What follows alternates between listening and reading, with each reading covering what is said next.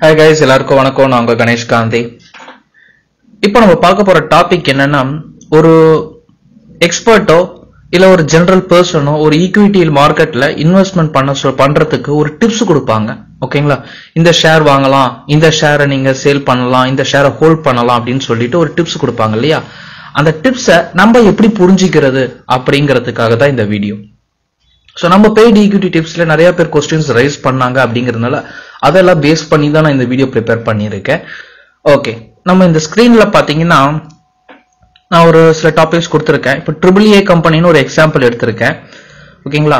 First point அதில் வந்து பார்த்தீங்கன்னா பைன்னு கொடுத்துட்டு அமௌண்ட் கொடுத்துருக்கேன். டுவெண்ட்டி ஃபோர்லேருந்து டுவெண்ட்டி செவனுக்குள்ள இந்த ரேட்டுக்குள்ள இருந்து இந்த ரேட்டுக்குள்ள அதை வாங்கலாம் அப்படின்னு அர்த்தம். ஓகேங்களா? இருந்தா மட்டும் வாங்குங்க அப்படின்றத அர்த்தம்.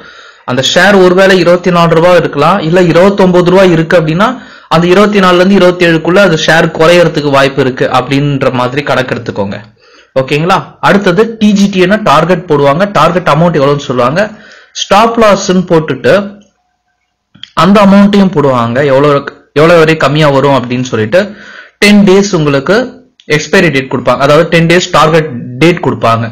ஓகேங்களா இதுலயும் ஒரு அண்டர்ஸ்டாண்டிங் இருக்கு. இந்த டென் டேஸ் அப்படிங்கிறது ஷார்ட் டேர்ம் மீனிங் நீங்க வாங்க சொல்லவே டெலிவரியில தான் வாங்கணும். சப்போஸ் இதை வந்து நான் டி பிளஸ் நைன் டேஸ்ன்னு போடுறோம்னு வச்சுக்கோங்களேன். டி பிளஸ் நைன் டேஸ்ன்னு போடுறாங்கன்னு வச்சுக்கோங்களேன். ட்ரேடிங் பிளஸ் நைன் டேஸ் இல்ல ட்ரேடிங் பிளஸ் டென் டேஸ் அப்படின்னு போட்டாங்க அப்படின்னா நீங்க ஸ்டார்டிங்ல இன்ட்ராடேல தான் அதை வாங்கணும்.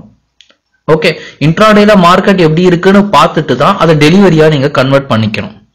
அதுதான் அந்த டி பிளஸ் டேஸ்க்கு மீனிங் ஓகேங்களா இன்ட்ராடேல மட்டும் ப்ராஃபிட் வரதுக்கு வாய்ப்பு இருக்கு. அதனால நீங்க இன்ட்ராடேல ஃபர்ஸ்ட் ஸ்டார்ட் பண்ணுங்க. அதுக்கப்புறமா ஸ்டாக்கை ஹோல்ட் பண்ணிக்கலாமா வேணாமான்னு முடிவு பண்ணுங்க. அப்படிங்கிறதுக்காக டி பிளஸ் டேஸ்ன்னு போடுவாங்க. T plus particular days five T plus five போடுவாங்க. டி பிளஸ் டென் டேஸ் போடுவாங்க. டி பிளஸ் டுவெண்ட்டி டேஸ் போடுவாங்க. அந்த மாதிரி லாஜிக்ல இருக்கும். செகண்ட் ஒன்ல பாத்தீங்கன்னா வாட்ச் ட்ரிபிள் ஏ கம்பெனி அப்படின்னு சொல்லுவாங்க. இது யாருக்கு யூஸ் பண்ணுவாங்கன்னு பாத்தீங்கன்னா மோஸ்ட்லி இன்ட்ராடேல மட்டும்தான் யூஸ் பண்ணுவாங்க. ஷார்ட் டேர்ம் லாங் டேர்ம்ல யூஸ் பண்ண மாட்டாங்க. அதாவது இது வந்து பட்டுப்படாம சொல்ற மாதிரின்னு வச்சுக்கோங்களேன். அந்த எக்ஸ்பர்ட்டுக்கு வந்து இது அக்யூரஸியா தெரியாது. ஆனா ஏறுறதுக்கு வாய்ப்பு இருக்கு இதுல அப்படின்னா மட்டும்தான் அவங்க உங்களை வாட்ச் பண்ண சொல்லுவாங்க. ஓகேங்களா வாட்ச் ட்ரிபிள் ஏ கம்பெனி அப்படின்னு சொல்லுவாங்க. இது இன்ட்ராடே மட்டும்தான். நீங்க ஷார்ட் டேர்ம் இருக்கிறவங்க இந்த கம்பெனி வாட்ச்னு போட்டு வரது எதுவுமே வாட்ச் பண்ண வேண்டிய அவசியம் இல்லை. ஒரு சில எக்ஸ்பர்ட் வியூன்னு போடுவாங்க வியூ ட்ரிபிள் ஏ கம்பெனி போடுவாங்க. ஆனா இந்த இடத்துல கன்ஃபியூஸ் ஆயிடுவோம். ஏன் அப்படின்னா நம்ம கொஸ்டின்ஸ் கேட்கறோம் இல்லைங்களா ஆப்போசிட் பர்சன் கிட்ட. அப்போ நம்ம வியூன்னு தான் போடுவோம். அதனால யார் கேட்கறாங்க எதுக்கு கேட்கறாங்கிறத பார்த்துட்டு அந்த டாப்பிக்கை பாருங்க. ஸோ அதுதான் இந்த வியூன்ற மீனிங்ல வரும். இன்னொன்னு இது. ட்ரிபிள் ஏ கம்பெனி சப்போர்ட் ரெசிஸ்டன்ட்னு சொல்லுவாங்க. ஆக்சுவலா இது சார்ட்டை மட்டுமே பேஸ் பண்ணி சொல்ற ஒரு டார்கெட் அனாலிசிஸ் கிட்டத்தட்ட சப்போர்ட்ங்கிறது பாத்தீங்கன்னா ஸ்டாப் லாஸாவோ ரெசிஸ்டன்ட்ங்கிறது டார்கெட் பிரைஸாவோ நீங்க அண்டர்ஸ்டாண்ட் பண்ணிக்கலாம். ஓகேங்களா? இது ஜென்ரலா இதுவும் ஷார்ட் டேர்ம்ல தான் அதிகமா யூஸ் பண்ணுவாங்க. மினிமம் ஃபைவ் டேஸ் டார்கெட் அந்த மாதிரி வச்சு தான் மூவ் பண்ணுவீங்க. ஓகேங்களா? ஏன்னா ப்ரீவியஸ் சார்ட் அனலைசிஸை வச்சு சப்போர்ட் அண்ட் ரெசிஸ்டன்ட் சார்ட்னு சொல்லுவாங்க. அதுல ரன் பண்ணி போகும் இந்த ஷோல்டர் பேட்டர்ன் இதெல்லாம் இருக்கு. அது மூலியமா ரன் பண்ணுவாங்க. இன்னொன்னு பாத்தீங்கன்னா இந்த மாதிரி ஷார்ட்டா இருக்கும். ட்ரிபிள் ஏ கம்பெனி அப்படின்னு கொடுத்துட்டு டார்கெட் சொல்லி அமௌண்ட் மட்டும் சொல்லுவாங்க. எத்தனை நாள் எதுவுமே இருக்காது பிளாங்கா தான் இருக்கும். அது நம்ம தான் டிசிஷன் எடுக்க வேண்டியது இருக்கும். ஓகேங்களா இது ஜென்ரலா சொல்றது இதுவும் இன்னொன்னு பாத்தீங்கன்னா இதே சேம் தான் ட்ரிபிள் ஏ கம்பெனி அப்படின்னு சொல்லிட்டு பை அவ்வளவுதான் முடிச்சிருவாங்க. அமௌண்ட் கூட சொல்ல மாட்டாங்க. வாங்கலாம். இப்ப வாங்குறதுக்கு நல்ல நேரம் அப்படின்னு சொல்லுவாங்க. ட்ரிபிள் ஏ கம்பெனி செல் பண்ணிடுங்க வித்துருங்க.